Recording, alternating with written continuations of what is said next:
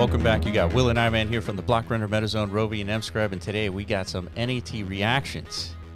All right, Yes, so, sir. So this dropped yesterday, Yeah, man. and it all started with a Trac tweet. He said, Benny comes in with DMT NAT on tap protocol is now being indexed by Trac. Mhm. Endpoints are live and will also be available with the Trac core release, of course. of course, of course, of course. So this is the open source version of the Trac indexing. Yeah. This means that field type 11, which is the bits field indexing hex patterns and also the numeric patterns hmm of the DMT spec is fully supported. More fields to fo- more field types to come. Yeah. So we we had the I guess pleasure and uh, luxurious experience to uh, have front row seats to watching Benny kind of architect all of this support. Oh yeah. You know, and I, I put out a tweet like mid like witness of it all. It's like, damn, this this feels like some real block science happening. Like this is Yeah. real block engineering. This is interesting. I feel like this has really never been done before. Yeah. because it hasn't really. I don't think anybody's ever had a, a real reason to, to like tinker around this much with the data layer of Bitcoin. No, and what motivated us and inspired us was Bitmap because Bitmap was the first non-arbitrary token. Yeah, so yeah, Benny believed in that vision, and the, the, he has a very deep understanding of what it is DMT and NATs represent, and he he, he jumped on the opportunity right away. Yeah. right. And so this has been you know a couple of months, several months maybe, like Yeah. in the works. Even though it feels like it just got like a light switch was turned on. Right. it's been a lot of like internal like uh you know um, tinkering to figure this out and it's finally here right but uh Yeah, we a- go through It took us a while to come up with this framework. I mean, Yeah. it took it took developments of like parent child and provenance um, attributes. Mm-hmm. All these things are needed in order to like deploy something like this. correct so yeah now that the so benny finally you know executed on this and the endpoints are out there so that's basically the signal to the world it's like all right here it is uh if you want to support this go have at it and Yeah. of course ordinal's wallet They jumped in. as they do fucking uh the rabbit in the race every single time Yeah. Remember Runes? Same thing. He's like, Same oh, thing. you want to publish a blog? Yeah, in a couple hours. It's like here's the runes token. so yeah, in proper Ordinal's wallet fashion, all the action of day one in the NAT space Yeah. is on Ordinal's wallet. So what's happening, dude? So as soon as um, Benny hit me up, he was like, "Okay, the endpoints are live." I quickly hit up Ordinal's wallet and say, "Endpoints are live." They knew exactly what to do. Yeah. They're like, "Hey, do you have a logo for Tap DMT?" I was like, "I sure do." Let's let's zoom in on that bad boy, dude. Look at that, dude. It's so clean. It is clean. You know what this looks like? What does it look like? The document of digital matter theory. There's like that circle. Let me see if I can bring it up real quick. Yeah, that definitely. That definitely like was was that intentional? Like I think we were going through different. Yeah, Look at at that. Yeah, you're definitely very proud of this one, aren't you? Yeah, dude. I mean, it is very representative of what it is the like uh, NATs represent. Like the obviously the core of it is Bitcoin. yeah, this is Bitcoin. These are all the non-arbitrary token nodes out there. It's the new digital substance layer that again is it's it's tapping into the substrate layer of the data yeah. of a Bitcoin block. That's what this uh, this icon represents. Uh, NAT being the first like utilizer, the Mhm. first deployer, the first deployment of this like new this new understanding, right? So yeah, you know, that that's our artistic rendering of Yeah. of that, you know. Yeah, so 24 Bitcoin in volume in less than 24 hours, dude. Mm. That's insane. That's over a million dollars Yeah. in volume. And we got new holders, right? Um, Yeah, so the user experience is a little different than what people are going to expect on MScribe. Once you know, so deployment MScribe should be live pretty soon. Uh, it's it's a little bit different as far as like how you're going to manage your yeah. non-arbitrary tokens and such. Yeah, because MScribe is dedicated to like the structure of Bitmap and Bitmap being the non-arbitrary token and supporting additional non-arbitrary tokens on on MScribe. Mm-hmm. It's going to look a little bit different, but the marketplace experience is going to be very familiar. Pretty much, yeah. Right. So, so, so what? I man, twenty four Bitcoin. Who cares, right? Well, So let's uh let's take a step back, go to Ordinal's wallet, and let's look at the the seven day volume in in uh in these Ordinals. yeah. So we got Tap with 24 Bitcoin. The next one, which is based for Bitcoin, Yeah. and this is seven day volume, dude. Yeah. We're about to not even at 24 hours to be honest. Yeah, Or this are is- we? No, No, it's no, we're not. not. We're getting close though. But nonetheless, yeah. So this is, I, I don't know. I, I want to say like this exceeded our expectation, but at the same time, I, I kind of expected this. Yeah. To be honest. you know, yeah, that's what Yeah. Orno's Wallet asked me. It's like, hey, what do you what do you guys think? It's like, I was like, you know, this is imp- I, I'm impressed, but yeah. yet expected. I didn't expect, I didn't expect it to block out in seven days as it did. hmm You know, a month ago or so. That was totally unexpected.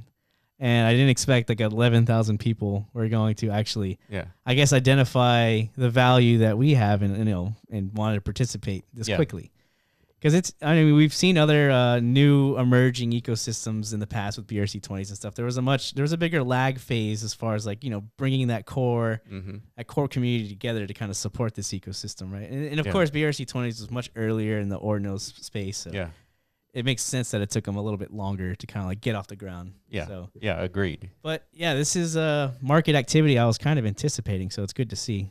Yeah, so let's zoom out a little bit more and just take a look at the activity on Magic Eden. So Magic Eden does not support tap tokens or NAT or anything like that, but it's good to see, you know, what the volume is. So Node Monkeys 21 Mm. in the last 24 hours. So Yeah. so uh, tap NAT tokens are above that. Very cool, dude. So so this is like the most Yeah. in terms of volume of all ordinals. yeah, and people are taking notice. Like, uh, I guess uh, so. This is another introduction of a new asset class. I mean, we've seen this tons of times in the ordinal space. So your choice now, as participants of this, in these navigators of this invisible hand, this Yeah. force of the market, your your choice is either to help it like push forward or just push it back. Right. Yeah. That that is the task of all market participants. Right. That's right. That's right. So people are the option is now like you know in your hands. You want to fade this or not? Right. Yeah. So speaking of participants, Yeah. our friends across the pond are here with their laptops. Yeah, these guys are pushing that hand all the way forward as hard as they can. It Yeah. looks like fucking chain smoking and all, dude, just to keep the energy up, the energy levels up. You cannot miss any minute in these markets, dude. You yeah, never you know. cannot. You cannot. This is pretty cool to see too. That was pretty surreal. Yeah, and uh, I remember seeing this with uh, bitmaps and BRC20 tokens. You too. Yeah, to see that happen to NATs, dude, that that definitely again it made me feel like some type of way. Like, wow, Mm-hmm. Yeah, we might have finally like you know uh caused some damage here in, in web 3 in the crypto space Yeah. i mean if you don't know anything about our background we've been dabbling for four years that's right.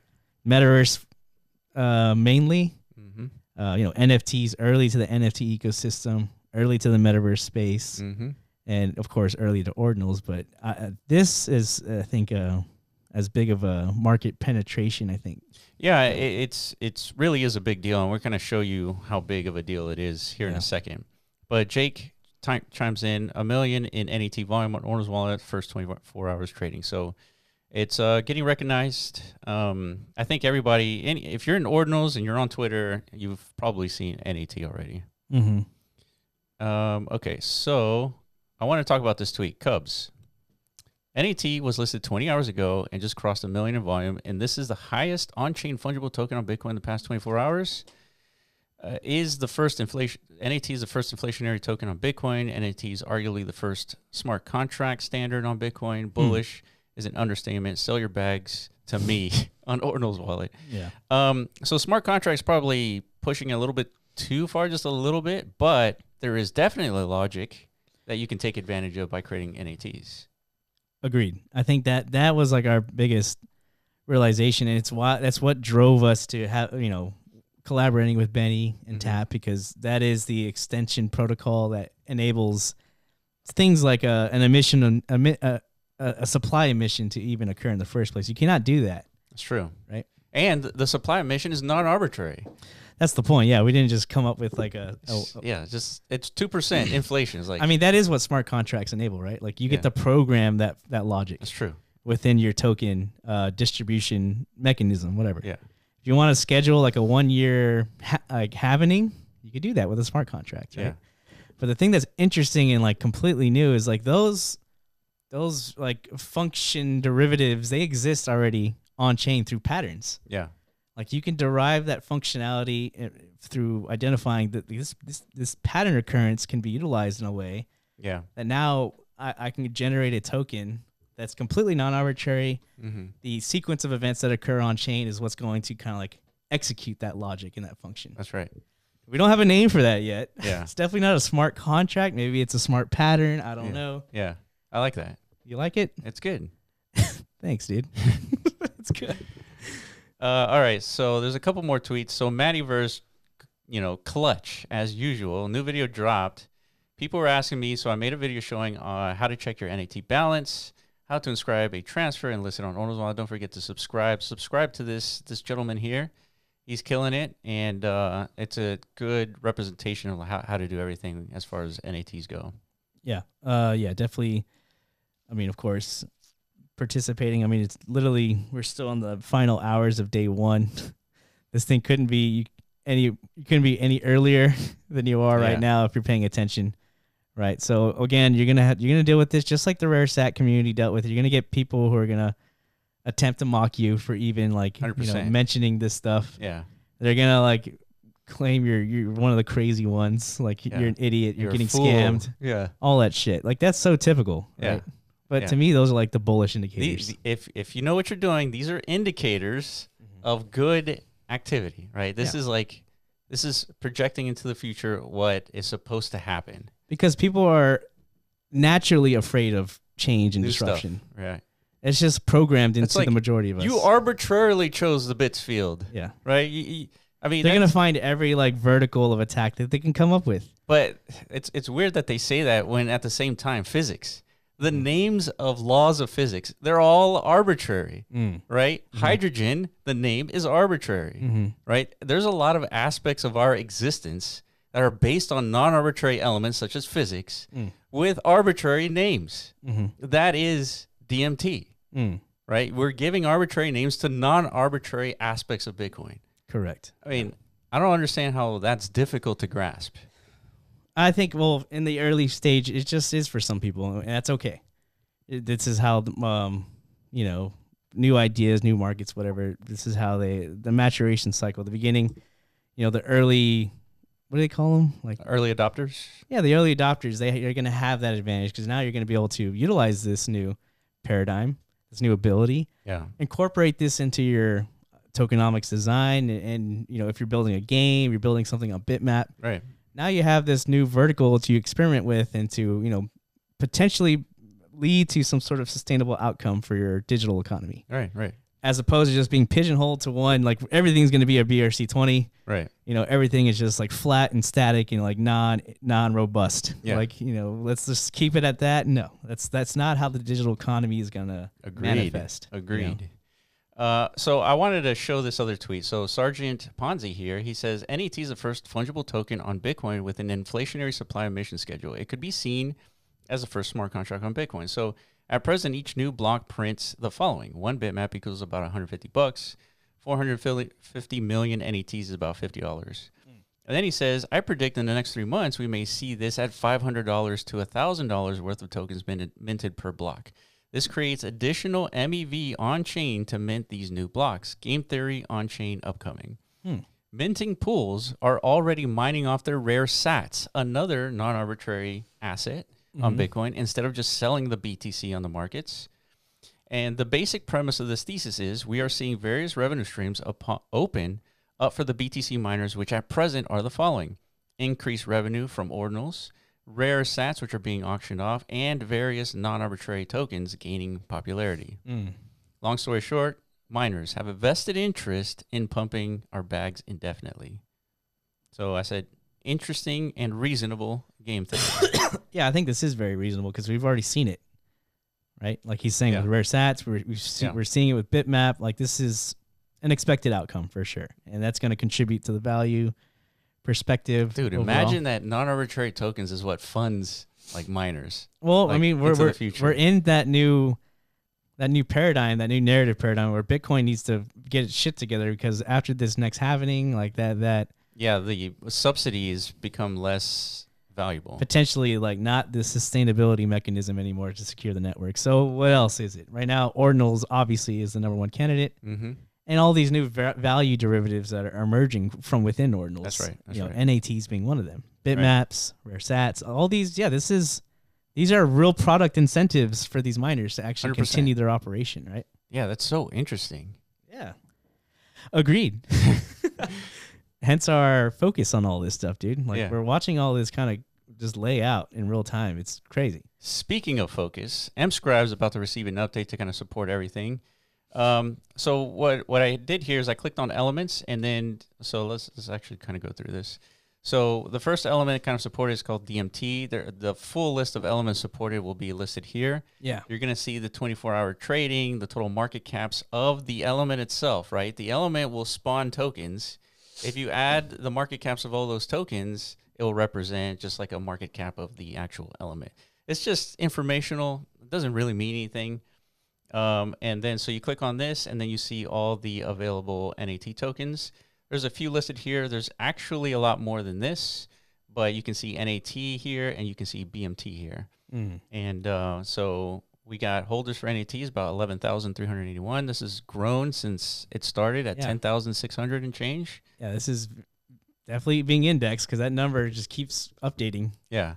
And uh, the most interesting number to me here is 17 holders of Bitmap token, Mm. right? BMT. And so what this is this is interesting to me because it's very hard to to generate a child inscription of a, of a BMT token from a bitmap. It is. because you, you got to go to uh, you know a website and then you have to submit your BMT or your uh, bitmap and you know you have to go through the provenance uh, the process the protocol and so Yeah. people have actually done it Right. It's just it's just an added friction layer, which is why not. I don't think there's a big rush yet, and it's like a let's wait around and see. I guess if it gets further adoption, then you know because it is a provenance model, which is Mhm. different than what the NAT token is. That was like an open, like like token launch. mm-hmm. There was no provenance requirement associated to it. Yep. You know, so so these are two different models, like literally currently deployed. yeah so the way the BMT will work is you'll go to your bitmap and there's going to be a new tab on the right and you click on that and you'll be able to see all your block drop tokens including BMT and then you right. can just click on it inscribe it and now you have your BMT token on mscribe right like so that is the purpose right now it's very difficult you have to go like from platform to platform and you know interact with all these different composable protocols and such in order Yeah. to execute on your uh your block drop claim mm-hmm. right in mscribe we're going to make that user experience much more fluid yeah all in one uh so yeah it'll be pretty intuitive like i own a bitmap that is the provenance that's going to kind of like enable me to claim these block drops whatever is being generated mm-hmm. by the these- community Yeah, these are digital commodities. We're already getting tons of inquiries from Yeah. people who want to create many like resources, yeah actual innately present resources within the bitmap like block space Yep. That can now be you know claimed and, and potentially usable in you know the bitmap economy. Yeah. That was the whole point. We wanted to enable exactly that, and people are already they're getting it. Yeah, they're doing it. They want to do it. Yeah. Yeah. Uh, so speaking of, how big is this NAT thing? This whole digital matter matter theory thing. yeah. So we have this little message here from Benny, and he posted this publicly on his Discord. And so he's answering like a bunch of questions here, and says the other fields will come over time. That's like a one to two year mission. Yeah. And so why is it going to take so long, I man? I think it's just it's a lot of data, dude. It is. It's a lot of data. This is something new, yeah. right? It's never been done before. Mhm. we're accessing roughly seven terabytes of Bitcoin data. I know it's like, you know, the meme is like 500 gigabytes to download all of Bitcoin, but that's a compressed space, Yeah. right? You you uh, uncompress it and you look at the data itself. It's about six to seven terabytes, Okay. Yeah. and and so that data is being accessed and being uh, accessible via these elements. Mm-hmm. And now from this element, you'll be able to generate our non-arbitrary tokens. Yeah.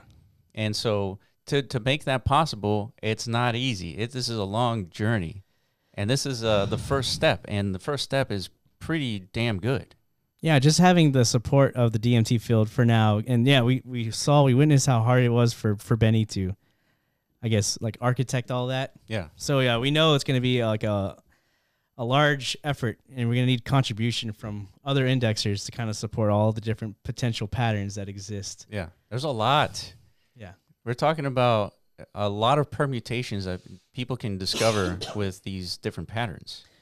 Yeah, so that's a big deal, you know. And to me, this is uh, an indication of exactly how much of a paradigm shift this is. Uh, We we, kind of put that in our original documentation, right? Like this is a real fork in the the Absolutely. the age of cryptocurrency, right? We've Yeah. been in an arbitrary pathway for the last 15 years. This is a real deviation towards a non-arbitrary path. Absolutely. This is And- an actual fork. Yeah, therefore, it's going to be a, a large human scale effort to kind of support all of this, this new methodology, right? So Yeah. Shout out hats to off to Benny. yeah to Benny for putting this together and Yeah. You know getting on this uh, this journey with us. Mm-hmm. and he he joined us without like any proof of like this working right and so as soon as it blocked out in seven days he was like all right we're we're, we're all in Pretty much, yeah. all right that's it for us guys i appreciate you guys for watching if we missed anything or if you have any questions hit us up in the comment section below join our discord and uh, you know retweet this as well appreciate you guys and we'll catch you in the next video Peace.